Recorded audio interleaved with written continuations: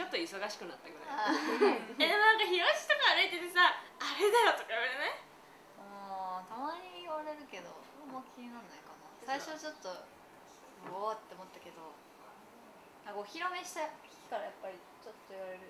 最近多くない？最近？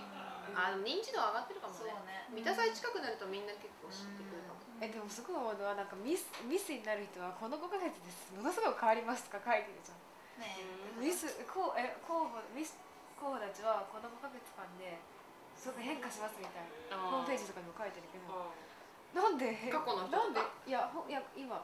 書いてある今年のホーえでもなんか根本意味はでもエリコとかは私は当初よりは絶対綺麗になってる。なんか多分見られるっていう意識によって自然と絶対に何かが変わってるんだと思うんだよね。そうこの間言ってくれて超嬉しかったいや本当本え当ちゃんそう絶対可愛くなってねうんうん嬉しいなあうんそうですよそうですよりがとうそうっていうね。うん。のは。それでも意識の一つなのかね。なんか自分ではそういうつもりないけど、ん。そういうとこやっぱ気使うようになったのかな。なったところはあると思うよ。知らぬ間に。うん